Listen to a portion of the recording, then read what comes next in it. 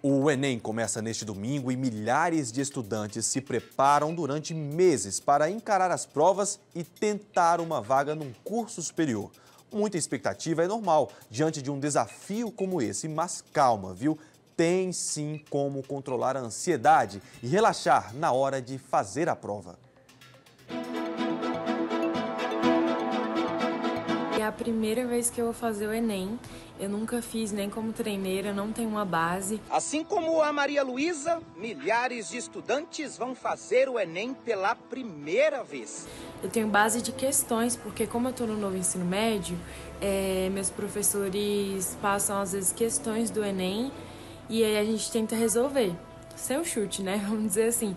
E também com um tempo limitado. Três minutos no máximo em cada questão. Se não souber, pula para não perder tempo.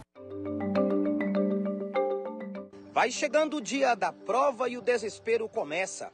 Hora de concentrar e memorizar meses de estudo e preparação. Não tô conseguindo controlar muito a ansiedade, vamos dizer assim, por não saber como vai ser, por medo de não ir bem, por medo de não tirar uma nota boa. As provas do Enem começam domingo e neste ano são esperados quase 4 milhões de candidatos que farão provas de linguagem, ciências humanas e redação. E por a gente não saber o tema da redação, eu acho que isso é o que mais pega. Se você está preparado o suficiente para elaborar uma redação boa o suficiente. Para esta psicóloga, controlar a ansiedade, desacelerar, são pontos importantes para fazer uma boa prova. Depois de meses de estudo, agora chegou a hora de buscar um pouquinho de tranquilidade, dar uma desacelerada, fazer com que essa ansiedade ela baixe um pouco, porque a gente sabe que muitas vezes um Enem, um PAIS, ele vem não só da autocobrança que a pessoa faz para si mesmo,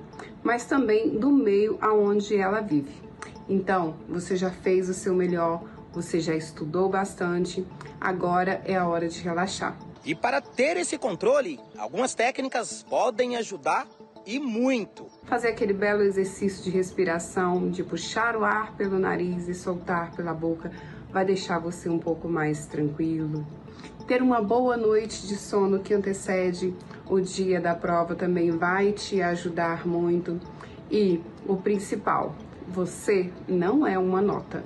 E a vida ainda tem vários dias pela frente para a gente poder conquistar todos os nossos sonhos. E é isso, boa sorte a todos, vai dar tudo certo, galera.